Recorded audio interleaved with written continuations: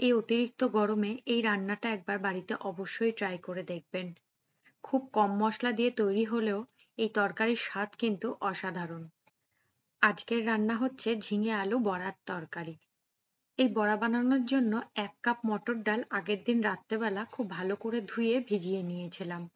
পরের দিন সকালে ডালটা ভালো করে আরেকটু ধুয়ে নিয়ে এবার একটা মিক্সিং জারের মধ্যে ডালগুলো দিয়ে দিচ্ছি।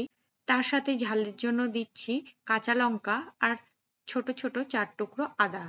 ঝালটা আপনারা আপনাদের পরিমাণ মতন দিতে পারেন। এবার এই ডালটার পেস্ট বানিয়ে নেব।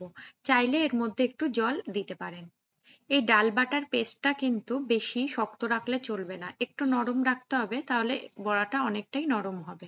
এবার নুন আর হলুদ দিয়ে ডাল বাটাটা খুব ভালো করে কিছুক্ষণ সময় ধরে মিশিয়ে নিতে হবে, তাহলে বড়াটা আরও সফট হবে। ডাল বাটাটা এবার সাইড করে রেখে দেবো একটু রেস্টের জন্য।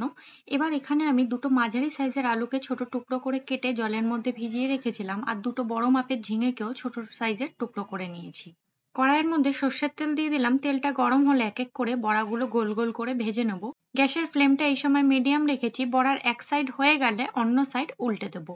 বড়াগুলোর মধ্যে যখন বাদামি রং হয়ে আসবে তখন বড়াগুলো তেল থেকে ভেজে তুলে নেব।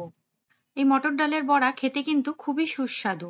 এটা ডালের সাথেও এমনি খাওয়া যায়। ওই বড়া ভাজা তেলের মধ্যেই আলুগুলো দিয়ে দিলাম। এবার তার সাথে নুন, হলুদ আর কাঁচা লঙ্কা দিয়ে দিচ্ছি। এবার ভালো করে লাল লাল করে আলুগুলো ভেজে নিতে হবে। ঝালের পরিমাণটা যে যেমন খাবেন সেরকম হিসাবে দেবেন। আমি নুন, হলুদ কিন্তু একেবারেই অ্যাড করে দিয়েছি, পরে কিন্তু আর দেব না। আলুটা বেশ খানিকটা লাল হয়ে যাওয়ার পর এবার ঝিঙাগুলো দিয়ে দিচ্ছি। এবার ঝিঙা আলু খুব ভালো করে নেড়ে চেড়ে মিশিয়ে নেব। ঝিঙাগুলোর থেকে কিন্তু অনেকটা পরিমাণেই জল ছাড়ে। এবার ঝিঙাটা ভালো করে একটু আলুর সাথেই ভেজে নিচ্ছি। একটু ভাজা হয়ে গেলে এবার দিয়ে দিচ্ছি গরম জল। জলের পরিমাণটা একটু বেশি দিচ্ছি, কারণ আলুটা সেদ্ধ হতে টাইম লাগবে।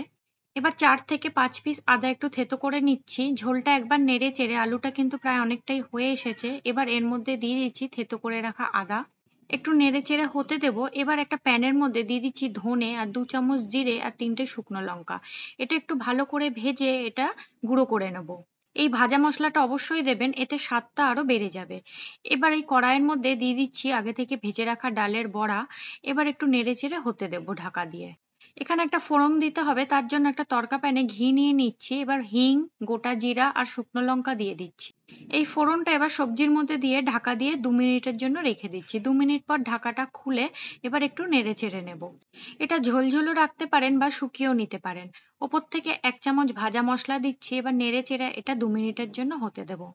খুবই কম মশলা দিয়ে তৈরি সুস্বাদু এই রান্নাটি বাড়িতে অবশ্যই ট্রাই করে দেখবেন।